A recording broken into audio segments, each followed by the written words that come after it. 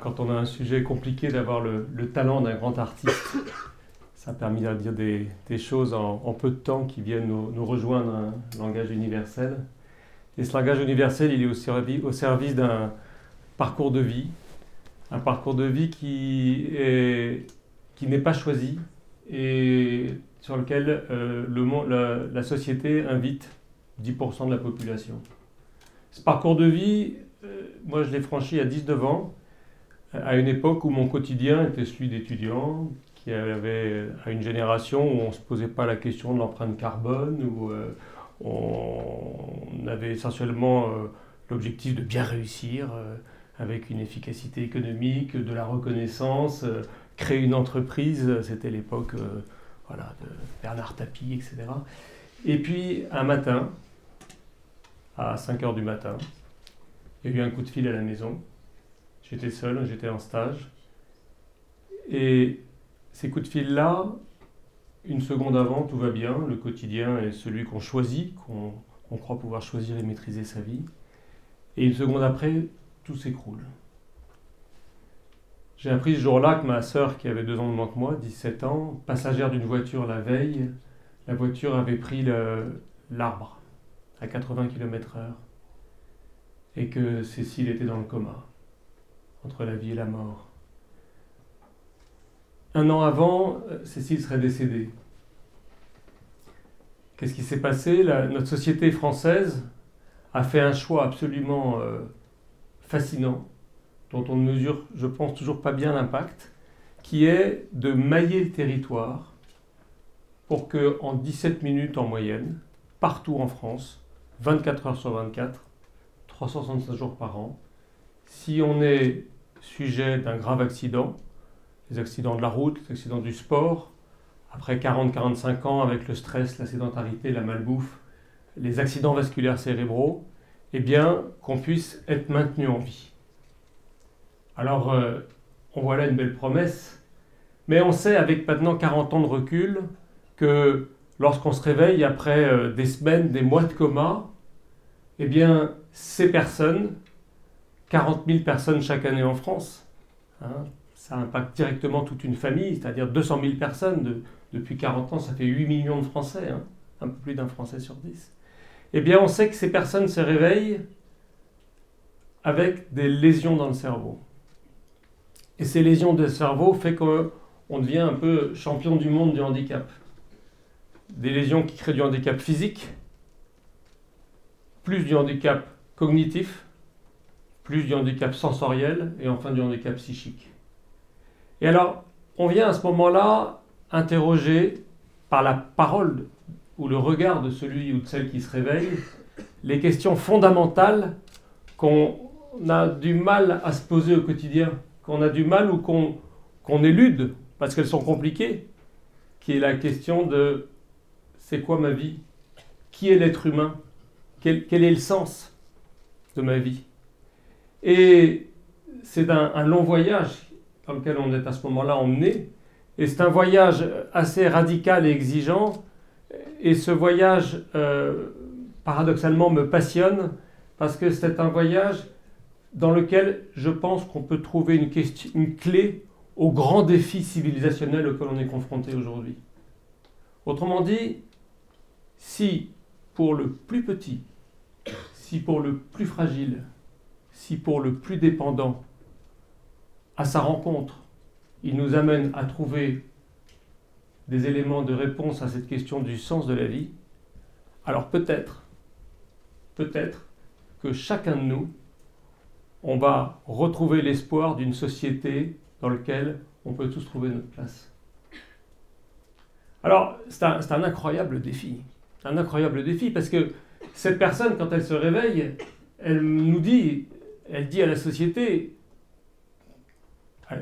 je résume hein, avec mes mots, mais pourquoi tu as mis des milliards chaque année pour nous garder en vie, alors que depuis que je suis enfant, quand j'étais dans, dans le ventre et dans les bras de ma maman, j'étais en communion, c'était beau, l'amour. Mais dès que j'étais à l'école, la maman a dû ouvrir le bras, et là, son doigt est tenté de se tendre pour regarder le carnet de notes. Et insidieusement, on se construit, on construit notre identité dans une société qui nous dit pour être, pour réussir, il faut surclasser l'autre. La vie, ta vie, aura du sens si tu es efficace, si tu es rentable, si tu apprends bien, si tu gagnes de l'argent, si tu peux, si tu parais, etc., etc. La personne handicapée, par ses traumatismes, ses accidents vasculaires cérébraux, et se réveille, se trouve confrontée à une situation, pour la majorité d'entre elles, qui est extraordinairement compliquée, puisque ce sont des personnes qui ont une très bonne mémoire d'avant l'accident, et qui n'ont pas de mémoire de ce qu'ils ont fait il y a 10 minutes. Ces personnes, si on les imagine, si nous nous imaginons dans leur situation, une part de nous est tentée de dire est-ce que leur vie vaut la peine d'être vécue? Et là, on ne peut plus être dans des considérations romantiques ou séduisantes ou marketing on est confronté à l'épicentre du réel. Et on est comme convoqué dans une question fondamentale que les, philosophes appellent la question anthropologique, qui est la question de savoir qui est l'être humain. Est-ce que cette question n'est pas essentielle? Est-ce que construire sa vie, construire un quotidien qui a du sens, ça passe pas par le courage de se confronter à cette question de qui est l'homme? Dans l'histoire de l'humanité, on vit un moment très particulier. Il y a eu 130 milliards d'êtres humains sur Terre depuis le début de l'humanité. Jusqu'à il y a peu, on était membre d'une communauté très locale, sa tribu, puis son village. Et donc il y avait quelque chose d'une finitude, il y avait quelque chose d'une maîtrise nous sommes tous à une époque vertigineuse de promesses et d'inquiétudes, qui est une époque où notre village devient le village-monde, et où, on voit dans une, abrogation de l'espace et du temps, souvent très virtuelle, mais on voit de telles différences, des questions tellement immenses au quotidien, souvent à travers nos écrans, que l'on est psychiquement dans une situation où on, pourrait presque dire que notre capacité d'action devient inversement proportionnelle à la taille de notre communauté. Autrement dit, quand ma communauté était tribale, villageoise, quelques centaines ou milliers de personnes, je pouvais agir. Qui suis-je aujourd'hui pour agir dans une société de 9 milliards d'êtres humains? Et il y a à cela un coup psychique qui, à mon sens, explique beaucoup de l'angoisse individuelle et collective que vit notre société. Et c'est très intéressant de se poser la question, est-ce que finalement ce n'est pas un grand projet de société que de penser que c'est peut-être le plus fragile qui peut nous emmener par la main pour nous aider à cheminer vers une réponse.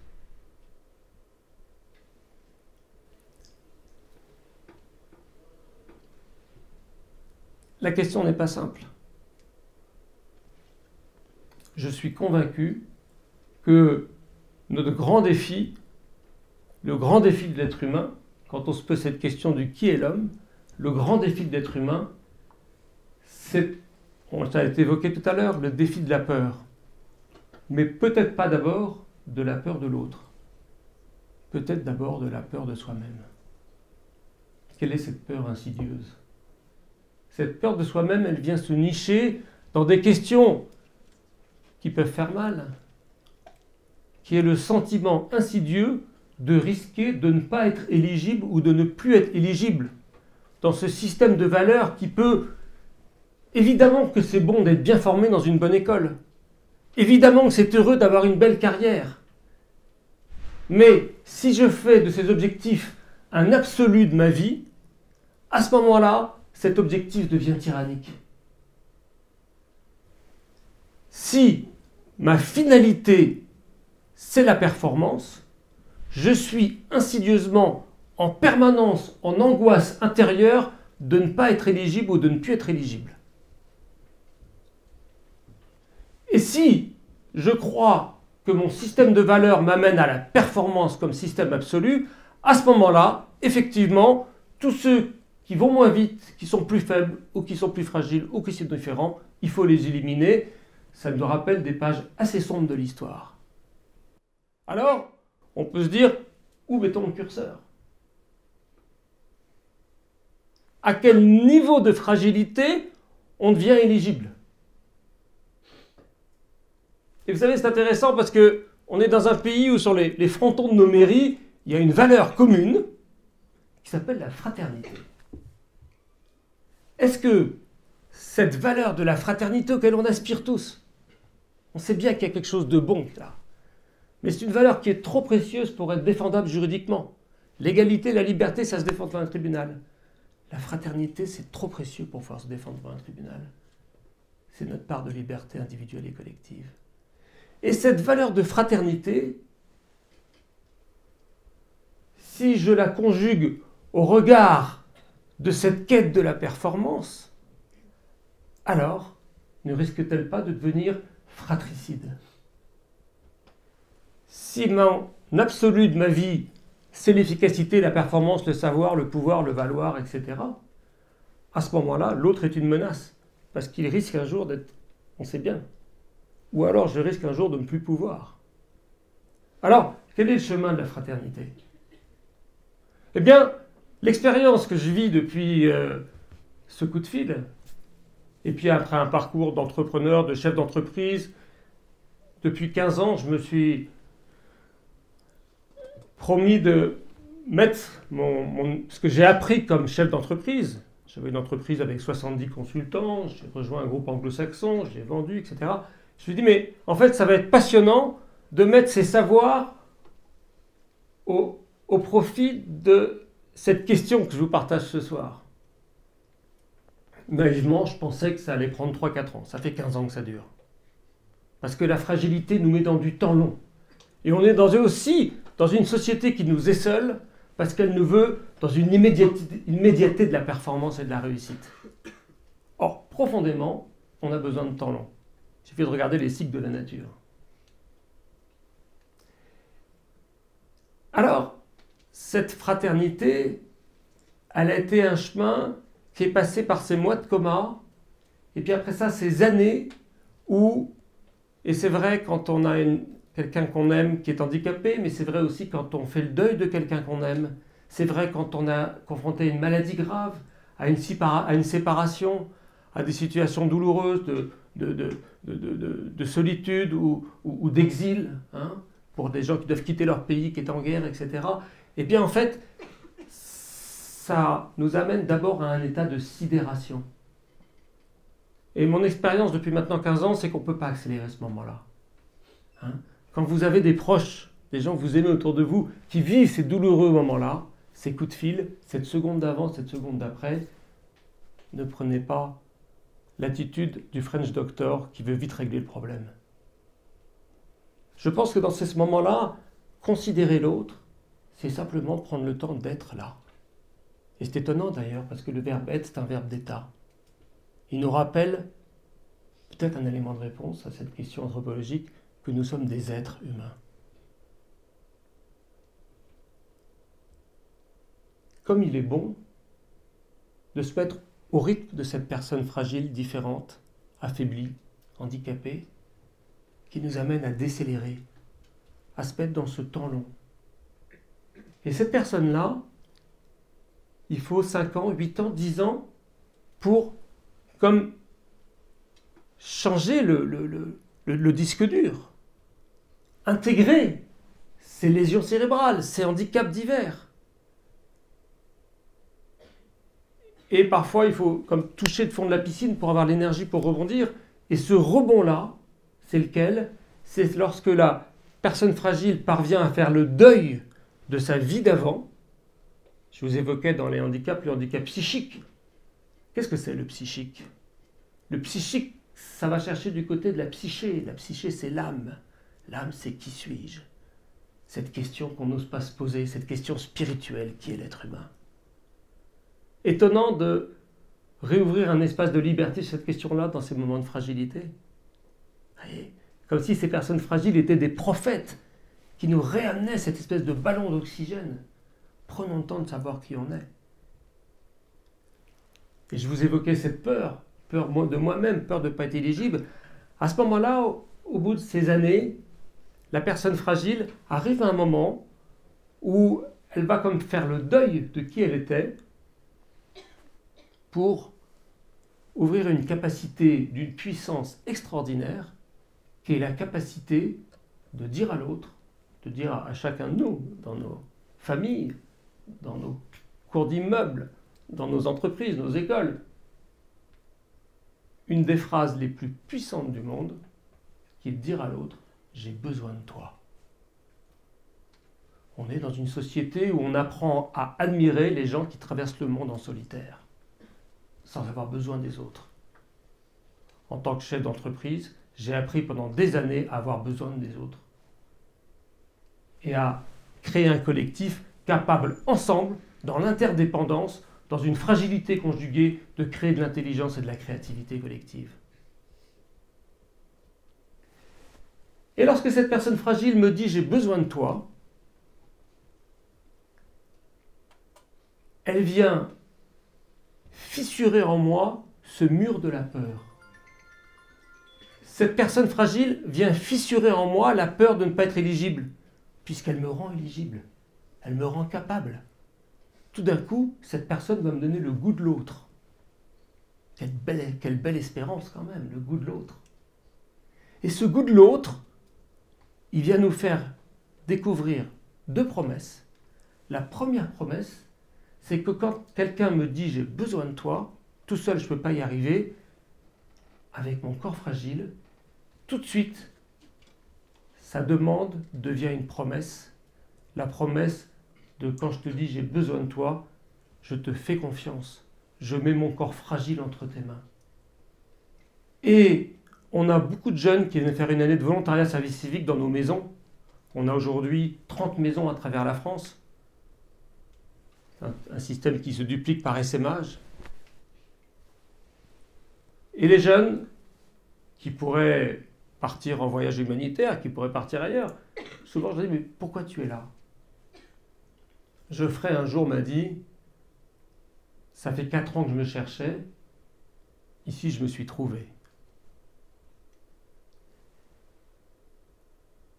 Isabelle m'a dit, c'est la première fois, j'ai 21 ans, c'est la première fois qu'on me fait vraiment confiance.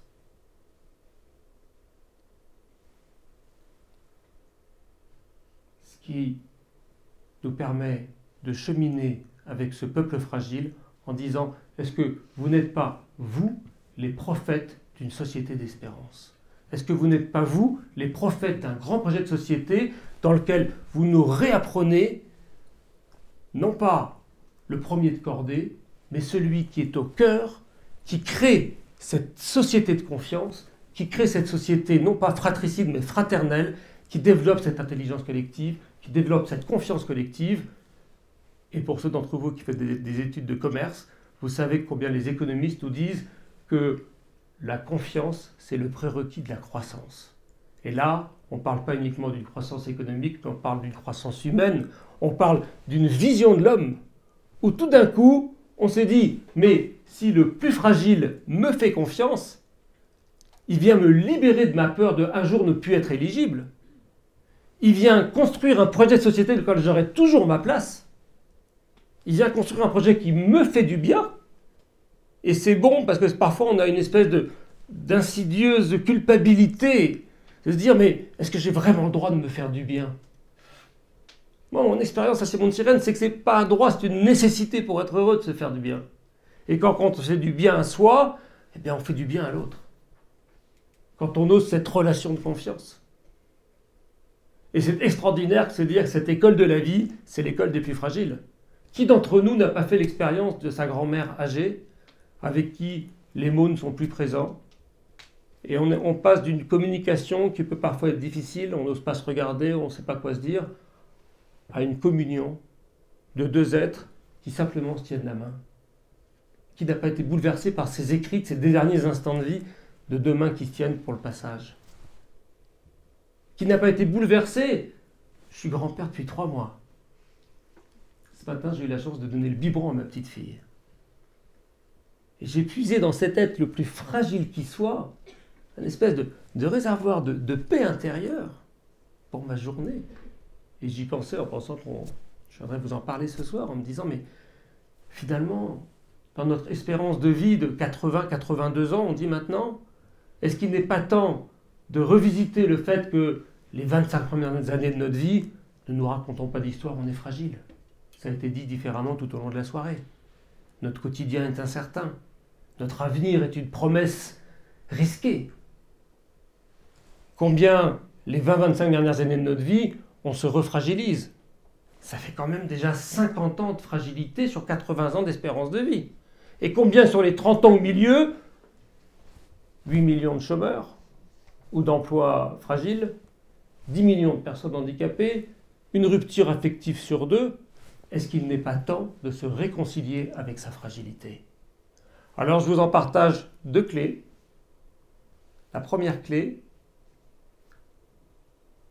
c'est la clé du silence. Paul Claudel disait le XXe siècle est le siècle du bruit, est une conspiration contre le silence. Je pense que le plus grand cadeau qu'on puisse se faire au début de sa journée, c'est de prendre le temps de l'artiste. Le temps de l'artiste, c'est le temps de l'intériorité, le temps de faire silence pour écouter jaillir en soi ses aspirations, ses désirs, ses peurs. Et trouver cette énergie vitale qui va nous guider pour oser être humains ensemble, oser se laisser appeler par le SDF, par la personne handicapée, par l'étudiant un peu seul au bout du couloir, 30% des jeunes, études Sofres, ont peur de la solitude. Une personne sur deux dans nos grandes villes vivent seules. En 2050, 80% de l'humanité va vivre dans des grandes villes. Si on est 10 milliards, ça veut dire qu'il y aura 4 milliards de personnes seules. Est-ce qu'il n'est pas temps de chacun être coacteur d'une société où on se laisse prendre et emmener par la main par les plus fragiles? Et cette promesse, on peut tous la partager parce que ces plus fragiles, ils sont autour de nous ils nous appellent et ils nous font confiance.